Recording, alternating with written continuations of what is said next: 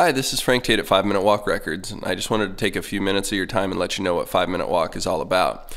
We believe that music is an excellent way to spread the hope found in the gospel, and all of our bands are committed to sharing that hope. The name Five Minute Walk we invented about three years ago when we realized the kids that were coming to our shows didn't really have a grip of how much Jesus cared about them. So we told them that if they would take as little as five minutes a day to talk to Jesus, just like he was a friend, to tell them how work was going, if they're nervous about a test, if they're mad at their parents, whatever was going on, just to talk to him like he was a friend, and that he would become their best friend, that he truly cared about them.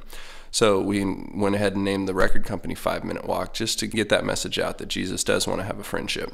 All of our bands are totally committed to uh, serving God, and we hope you enjoy our music. And thanks a lot for listening to our tape.